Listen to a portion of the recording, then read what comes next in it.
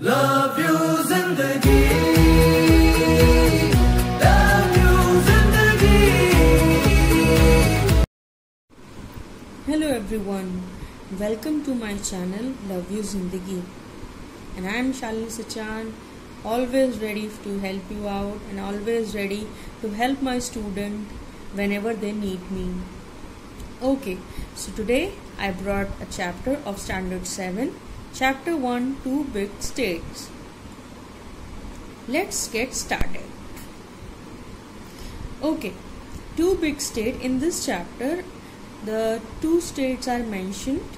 First we will talk about karnaj and the person whom we will talk about will be harshvardhan. Harshvardhan was born in 60 ce ce here is known as christian era after the death of his father prabhakar vardhan.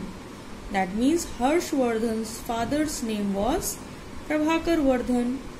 And Harshvardhan elder brother was Rajyavardhan because Harshvardhan's father Prabhakar Vardhan was dead so Rajyavardhan became the new king of Thaneshwar. But the problem is Rajyavardhan was killed by Shashank who was the king of God uh, Rashri was the sister of Harshvardhan and Rajyavardhan, but she was put in the jail by the king of Malwa, Devgupta. Devgupta put Rajshri in the jail. Under these circumstances, circumstances means situations. Under the situations as advised by the leaders of kingdom, because uh, his elder brother was dead his father was dead so all everyone the leader living in his kingdom advised harshvardhan to be the next king of thaneshwar. So harshvardhan said okay i will become the next king and i will shoulder shoulder means doing and following all the responsibilities of thaneshwar so one kingdom comes to the uh, Harshvardhan, that was Thaneshwar. After ascending the throne, he decided to free his imprisoned sister. As soon as Harshvardhan became the king of Thaneshwar, the first work he decided to do is to free his sister Rajshri. In the meanwhile, she has escaped from the clutches of Devgupta. But uh, Rajshri didn't know that his uh, brother is going to come and just help help her out so she escaped वो भाग गई from the clutches of Devgupta here clutches means uh, you can see in the power from the power of Devgupta and she ran away to the forest named Vindhya और वो कौन से जंगल में गई? विंध्या जंगल में। He went in the search of his sister and Harshvardhan was moving here and there and finding that where is my sister and with the help of the people they give the information that your in the in forest there is a hermit hermit means sant एक संत रहता था उस जंगल में, Divakar Mitra. And Divakar Mitra saved Rajyashri from committing sati at that time uh, this is a rule that if the husband died the wife must have the sati. Sati means burning alive. ज़िंदा जलना अपने आप को आग लगा देना because husband की death हो गई इसलिए। And that the same thing Rajshri was doing Rajshri अपने आप को जलाने ही वाली थी कि दिवाकर मित्र ने उसे बचा लिया। Since Rajshri kingdom Karnauj was without any king at that time. As you know that Rashtri's husband was dead, Rashtri was in jail, so who will take care of his kingdom? So Harshvardhan said, okay, I will take care of my sister's kingdom.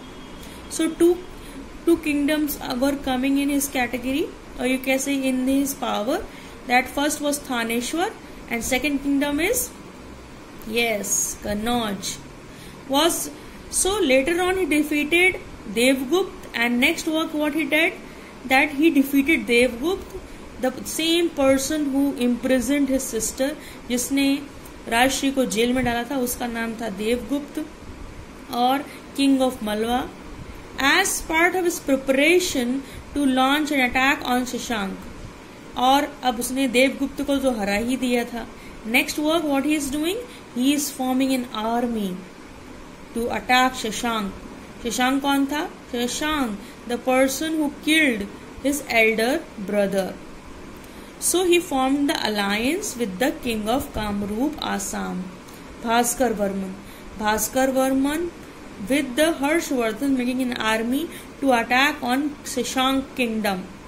With the help of the army, he defeated the god king and finally they Harshvardhan win the war and won major part of his kingdom ज़्यादातर part उसने जीत लिया था।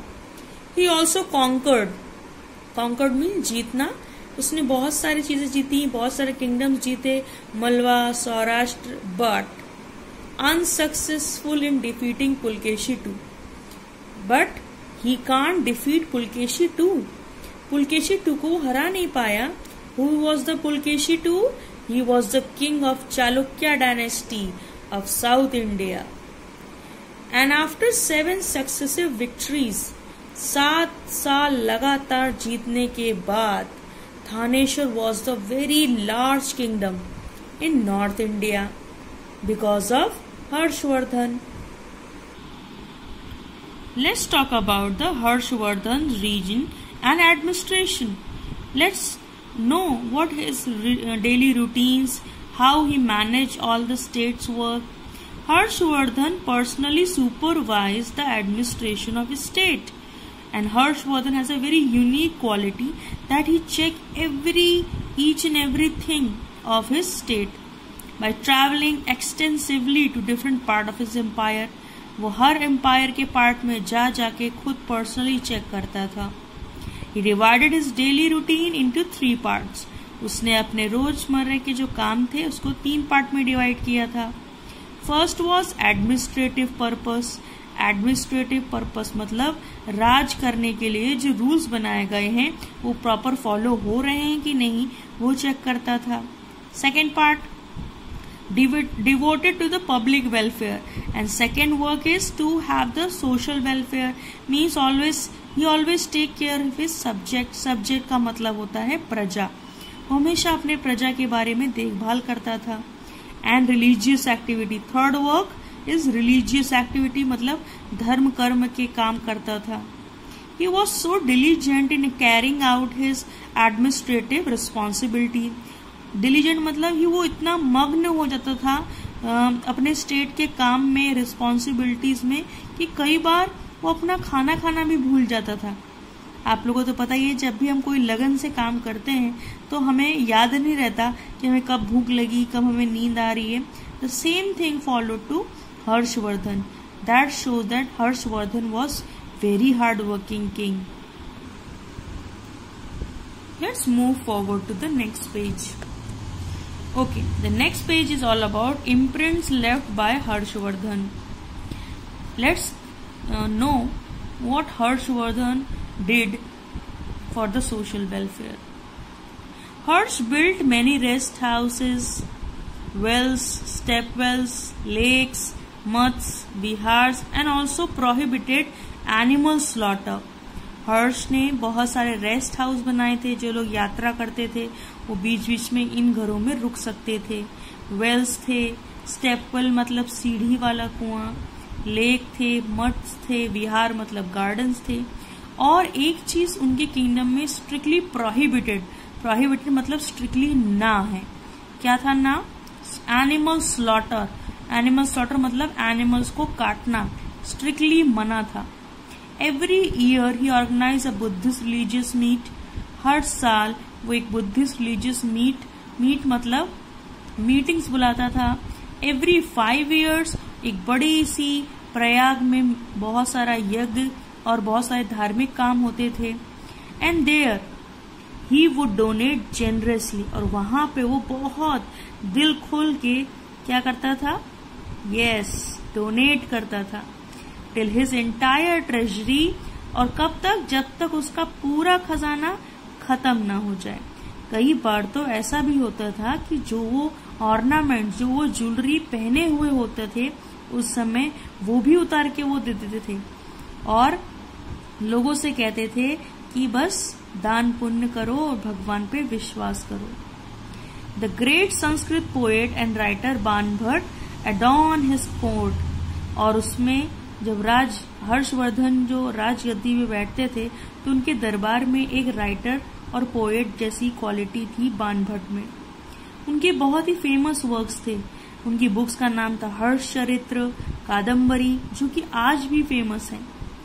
We come to know the about many important aspects और इसी तरह हम बहुत सारी चीज़ें जान पाए किंग हर्षवर्धन के बारे में। हमने जाना कौन सी बुक से? हर्ष चरित्र से। किंग हर्ष चरित्र हिमसेल्फ एक खुद वो, खुद ही एक राइटर थे और उन्होंने तीन प्लेस भी लिखे थे। प्लेस मतलब ड्रामास नागानंद, रत्नावली एंड प्रिय दर्शिका ये तीन प्ले थे जो उन्होंने खुद लिखे थे। Let's move to the next page emperor Harshvardhan empire now we will talk about the Nalanda university King Harsh extended all the possible assistance to Acharya Shilbhadra. King Harsh ने बहुत पूरी पूरी हेल्प की पूरी पूरी कोशिश की आचार्य शिलभद्र को हेल्प करने की, ताकि वो वर्ल्ड फ़ेमस यूनिवर्सिटी बना पाए, जिसका नाम उन्होंने नालंदा रखा। University has access to the revenue और यूनिवर्सिटी को बहुत पैसा मिला। वो भी किंग हर्ष के थ्रू किंग हर्ष ने जो भी सौ गाँव से जितनी भी इनकम हुई, जो किंग हर्ष को मिल रही थी as a being a king he donated hundred villages income to make the university Nalanda कितने बहुत ही ज़्यादा काइंड पर्सन थे हर्षवर्धन। हमें इससे पता चलता है। रिनाउंड केमिस्ट आचार्य नागार्जुना, जिन्होंने प्रूव किया कि अगर हम आयरन आर्सेनिक और मर्करी एश बना, से को मिक्स करेंगे तो एक मेडिसिन यूज़ होगी, जो कि वर्ल्ड फ़ेमस है, और ये मेडिसिन पहली बार नालंदा यूनिवर्सिटी के स्टूडेंट्स ने ही बनाई थी। Now moving forward to the next page we are talking about life of people at Harshvardhan time information about the reign of king harsh is available from the writing of Chinese traveler. और king Harsh के बारे में जानना हो तो हमें Chinese writers की book इसका नाम था हुएंग सैंग हुएंग सैंग की बुक से पता चलता है कि हर्ष कितने काइंड हार्टेड थे। Town villages of the time were fortified और उस जमाने में टाउन और विलेज को बचाते थे प्रोटेक्ट करते थे। बड़े बड़े गेट बनाते थे। किसी के राज्य में घुसने से पहले उस गेट को पार करना पड़ता था। Society was divided into four groups और उस समय समाज चार ग्रुप में डिवाइडेड था। While the purdah system intercaste marriage उस जमाने में इतना फ़ेमस नहीं था। लेकिन sati system child marriage polygamy ये सब स्टार्ट ऑलरेडी हो चुके थे। Sati system I have already explain you child marriage मतलब बचपन से ही जब बच्चे छोटे हों, उनको पता भी ना हो कि what the actual meaning of marriage उनकी शादी, उनके पेरेंट्स कर देते थे. And polygamy means having more than one wife एक से ज़्यादा वाइफ का होना is known as polygamy the local diet considered milk and milk product उस जमाने में लोग नॉर्मली दूध दूध से बनी हुई चीज़ें wheat rice fruits fruits and vegetables खाते थे। दे वोर वोर मीन्स पहनते थे। वो सिंपल क्लीन व्हाइट क्लोथ पहनते थे। मेन धोतीज पहनते थे विमेन साड़ीज पहनती थी। और जो ornaments rings bracelets and bangles and necklace थे, वो फ्लावर से, यानी फूलों से बनाए जाते थे। Chess and games of dice जैसे आप लूडो खेलते हैं चेस है वो उस जमाने में बहुत फ़ेमस था because at that time they don't have phones, TVs, electronic gadgets. Acrobats and conjurers acrobats जो होते हैं जो रस्सियों पे चलते हैं और आपने शायद देखा होगा कंज्यूरर्स मतलब जो यू कैन से क्लाउन या जोकर जिसको बोलते हैं हम वो विलेज टू विलेज जाते थे बच्चों का और बड़े लोग को मनोरंजन करवाते थे। क्योंकि उस जमाने में टीवी तो थी ही नहीं। Farmer farming and animal husbandry were the main occupation of the people. उस जमाने में पैसे कमाने के सिर्फ़ दो ही तरीके थे। खेती बाड़ी करना, एनिमल हस्बेंड्री का मतलब है एनिमल्स को पालना और उनके प्रोडक्ट्स को बेचना। Land revenue was one six of the production. और लैंड रेवेन्यू का मतलब है, जो आप खेती बाड़ी करते हो, उसका वन सिक्स पार्ट आपको किंग को देना पड़ता था। इंटरनल एंड इंटरनेशनल ट्रेड दोनों ही वैश्या करते थे। एक हाईवे बनाया गया था पाटलिपुत्र पाटलिपुत्र टू भ्रुग कच्छ जो कि एक स्टेट के में बनाया गया था ट्रेड के लिए बिज़नेस के लिए, ताकि वहाँ से सामान आ जा सके। गोल्ड एंड सिल्वर कॉइन जो थे कमर्शियल ट्रांजैक्शंस में थे। मतलब उसको हम देकर सामान खरीद सकते थे। Ornament statues ivory carved wooden piece ये सब उस जमाने में एक्सपोर्ट करते थे शिप्स के through export of different materials from India increase has prosperity और क्योंकि हम इतना सारा सामान एक्सपोर्ट करते थे, उसके बदले में हमें बहुत सारे पैसे भी मिलते थे। During the reign of king Harshvardhan India को अच्छे रिलेशन हुए रोम कंट्री के साथ। जिसकी वजह से गोल्ड बहुत अच्छा से आ पा रहा था रोम से, क्योंकि हम उनको सामान देते थे, वो हमें गोल्ड देते थे। People followed Hinduism Buddhism and Jainism और उस जमाने में तीन धर्म बहुत तेज़ी से पॉपुलर हो रहे थे।